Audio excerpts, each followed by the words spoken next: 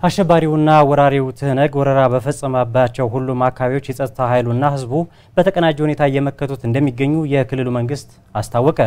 አሸባሪውና ወራሪው ትህነግ ከወረራቸው አካባቢዎች መካከል ወልዲያና አካባቢው የጸጥታ ኃይላችን በቅንጅት እያደረገ ባለው ተጋድሎ ወሳኝና ስትራቴጂክ ቦታዎችን እየያዘ ይገኛል።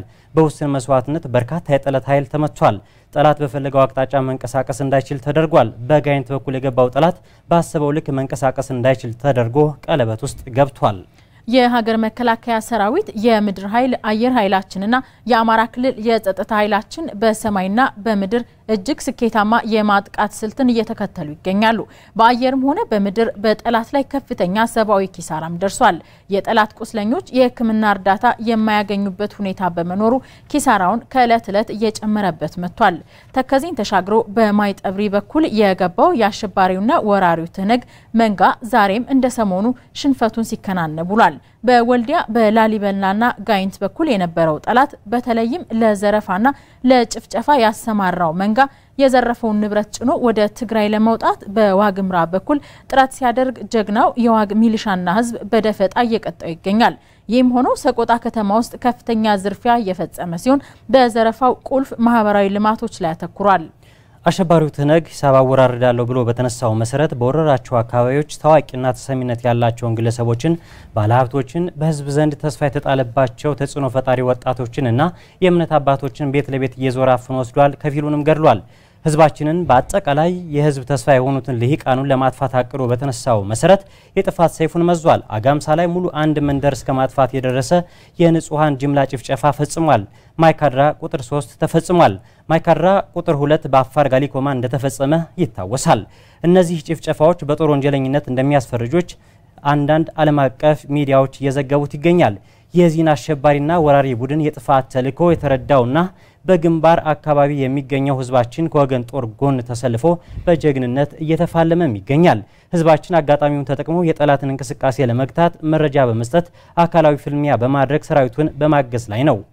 ከአካባቢው አለባበስ ጋር በመመሳሰል እድሜያቸው የገፉ በእድሜ ጠና ያሉ አባላቱን ከፊት በማድረግ ሰርጎ በመግባት የአካባቢው ሚሊሻና የወገን ጦር በመምሰል ለማለፍ ጥረት ያደረገባቸው አካባቢዎችም አሉ። በተጨማሪም እኛ እናንተን አንነካም ብሎ ከገባ በኋላ የማህበረሰቡን ተጽዕኖ ፈጣሪ ግለሰቦች ለይቶ ገድሏል። በተመሳሳይ የመንገድ አቅጣጫዎችን ለሚያመላክተው ገንዘብ እንደሚከፍል ቃል በመግባት በአስገዳጅ ሁኔታና በጫና ግለሰቦች መንገድ ከመሩት በኋላ ሲመለሱ መረጃ እንዳያወጡ በሄዱበት በመግደል አረመኔነቱን አሳይቷል። በገባባቸው ቦታዎች በተደራጀ መልኩ መንቀሳቀስ ባልቻለበት በየመንደሩና ከተማው እየገባ ሽብር ለመፍጠርና ለመዝረፍ እየጣረ ያለው አሸባሪው ትህነግ በተደራጀ ሁኔታ እየተመታ ቢሆንም እያደረሰ ካለው ሰብአዊና ቁሳዊ ኪሳራ አኳያ መላ የክልላችን ሕዝብ ዳር እስከ ዳር እንደ ሕዝብ ተነስቶ ደመኛ ጠላቱን ሊደመስስ ይገባል። በግንባር አካባቢ ያለው ህዝባችን ጠላቱን ለመታገል እያሳየ ያለው ርብርብ ከፍ ያለ አድናቆት የሚሰጠው ነው። ከግንባር በራቁ የክልላችን አካባቢዎች ያለው ህዝባችን በተለይም እድሜውና ቁመናው ለውጊያ ብቁ የሆነ ሁሉ ወደ ግንባር ዘምቶ ጠላቱን እንዲፋለም ጥሪያችንን በድጋሚ እናቀርባለን። አሸባሪውና ወራሪው ትህነግ ከሚተኩሰው ጥይት ይልቅ በቀዳሚነት የሐሰት ወሬና ማደናገሪያ በመፍጠር ህዝቡ ቦታውን ለቆ እንዲሄድ በማድረግ የፈለገውን ዘርፎና ጨፍጭፎ ወደ ቀጣይ ኢላማ መሄድን እንደ ስልት አድርጎታል። በመሆኑም በጠላት ወሬ ባለመረበሽ የሚመለከተው አካልና የጸጥታ ኃይላችን የሚሰጡትን ተልዕኮ በመከተል ጠላትን በየቀየው ሆኖ መታገል ይኖርበታል። ህዝብ ቦታውን ካለቀቀ ይህ ኃይል በቀላሉ ሰርጎ መግባት መዝረፍና ውድመት ማድረስ እንደማይችል ያውቋል።